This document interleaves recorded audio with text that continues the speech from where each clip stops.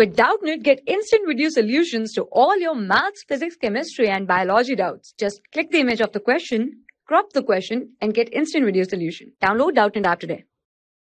So in this question it is given that which of the following group shows plus I effect. So basically we'll have to see what is this plus I effect. Initially, if you see the I effect means inductive effect and inductive effect is of two types, positive and negative. So in the positive, first of all, let's see what is this inductive effect. Okay. So inductive effect means it is the polarization of the sigma bond. I can write down polarization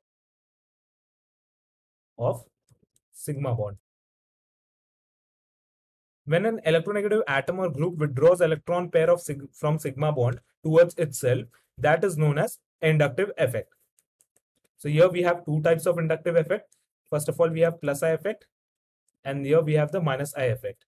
So this is caused due to the difference in electronegativity of atoms between the molecule. So we can say the plus I effect we need to concentrate on. So the plus I effect means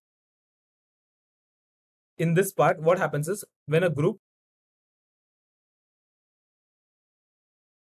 release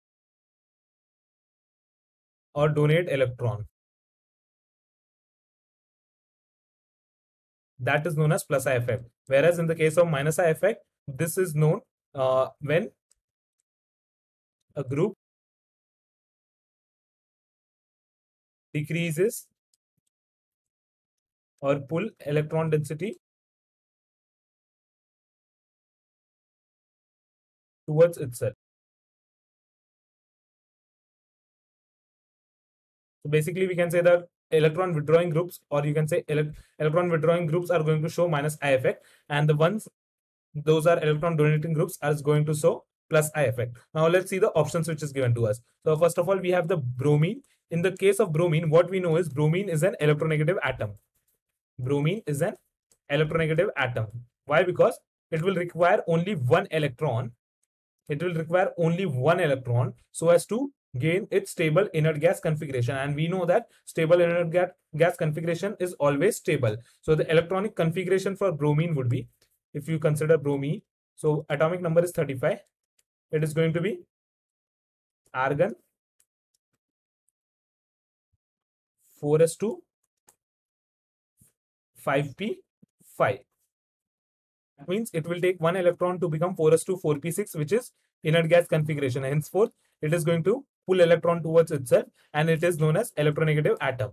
And since it is electronegative atom and it pull electron towards itself, it is going to show minus I effect. So this option becomes automatically incorrect. Second option we have is C double bond O OH. In the case of C double bond O OH, if you write it in the open form, so this is C double bond O OH. So what happens here? This oxygen is electronegative in nature, so it pull electron towards itself, making this electron deficient, this carbon electron deficient, and it will pull electron from the whichever group is substituted to this carbon atom. Because this is electropositive in nature now. This that means it has become electron deficient and pull will pull try to pull electron towards itself. And therefore we can say this is also going to show minus i effect. Next we have is or group. So this or group what happens is here we have the oxygen atom oxygen atom we know it is electronegative atom and hence it is going to pull electron towards itself. So this is also incorrect. So the correct answer would be minus uh, it is not minus it is c double bond o, o minus. Why? Because if you see the c double bond o, o minus structure it is c double bond o, o minus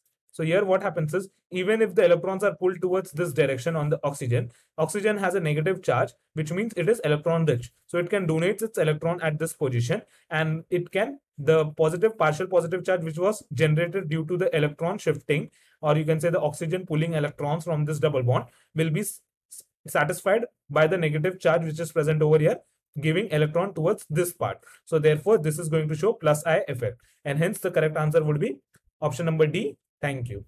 For class 6 to 12, IIT JEE and NEET level. Trusted by more than 5 crore students. Download Doubtnut app today.